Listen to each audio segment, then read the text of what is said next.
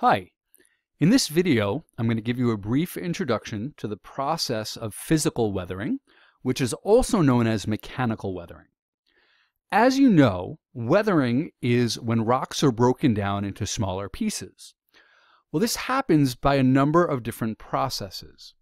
Today, we're going to look at physical weathering, which means that these rocks are breaking apart due to a physical change. In other words, nothing is changing chemically about these rocks. They're still the same rocks, they are just smaller pieces.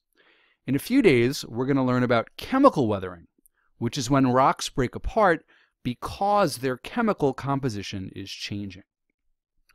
So there are five main types of physical weathering that we're going to look at. The first one is called frost action or frost wedging.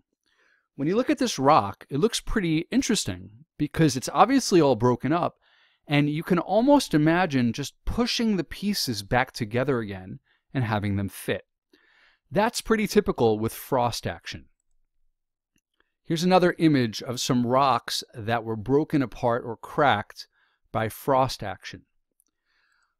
The way this process works is that when it rains or snows, water will get into little tiny cracks or joints within a rock.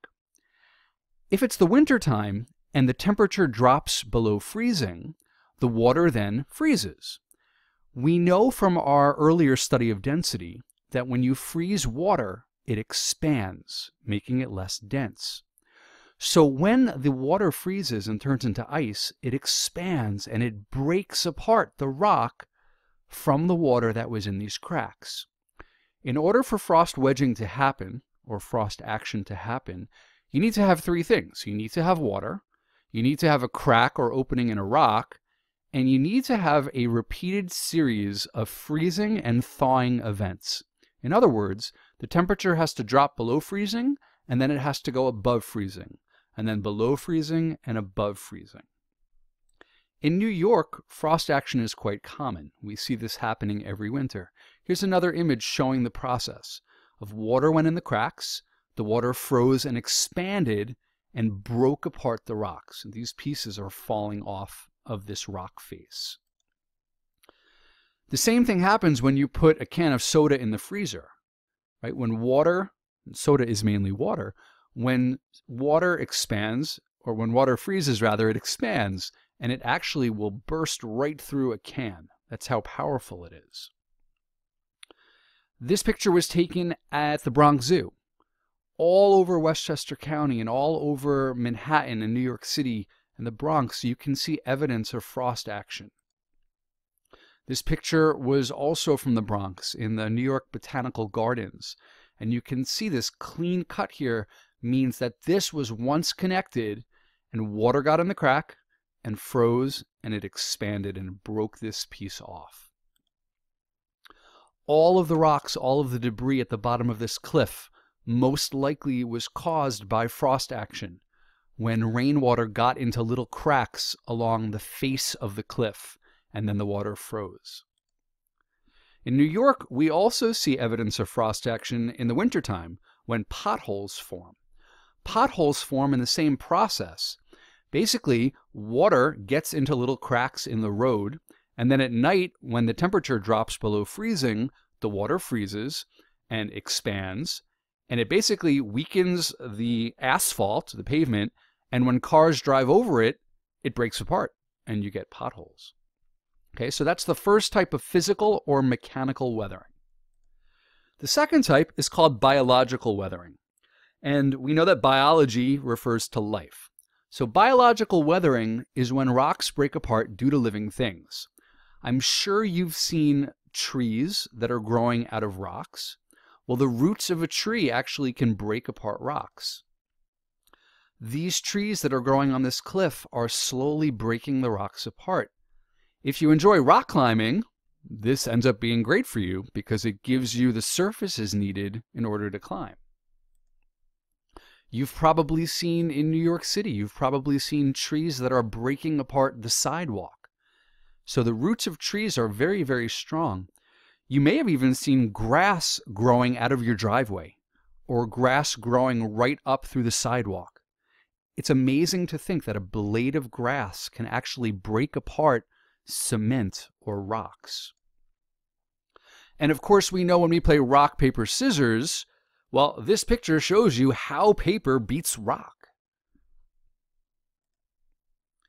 Now, biological weathering would also include living things.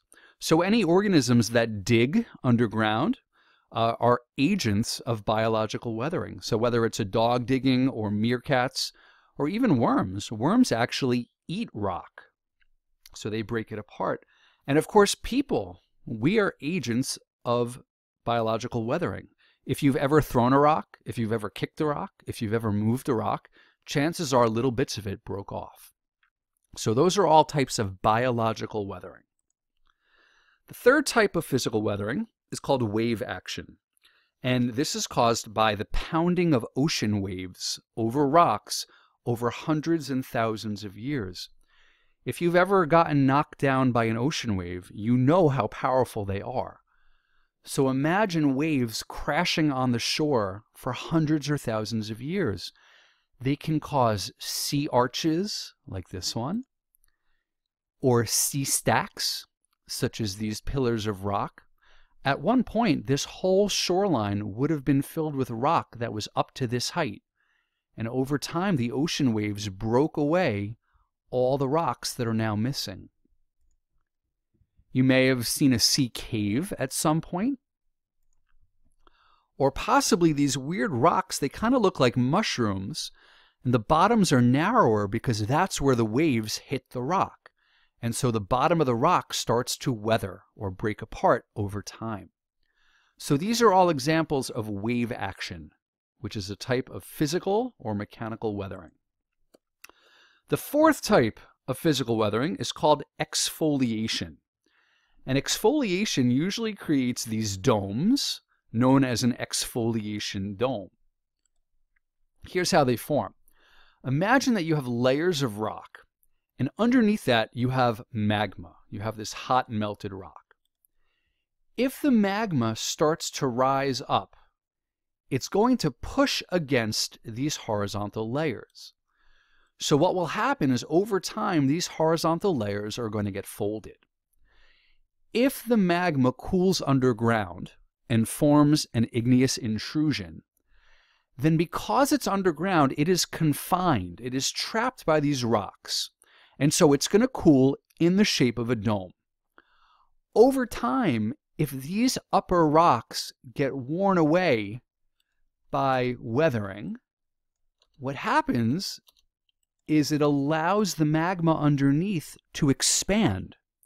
Because if these top rocks are gone, then this solid rock is now no longer under pressure and it's able to expand. And when rock expands, it cracks.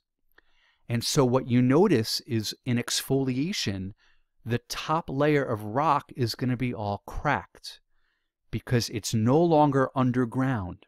It's no longer under pressure that was keeping it together. So here's another picture of an exfoliation dome, and you can see the outer layer is all cracked up because these rocks were able to expand when they were no longer under pressure. This is an exfoliation dome in Africa. Same idea. The last type of physical weathering that I'm going to talk about in the video is called abrasion. You may have learned in health class that if you fall and scrape your knee, that's called an abrasion. Well, these rocks have been broken down by abrasion. If you look at the rocks, what's the first thing you notice about them? you probably notice that they're all very round and smooth. Abrasion happens when rocks bang against other rocks, and these sharp edges start to break off, making the rocks round and smooth. Tomorrow we're going to take a closer look at abrasion, and we're actually going to do a lab where you're going to simulate abrasion happening in a stream. See you tomorrow.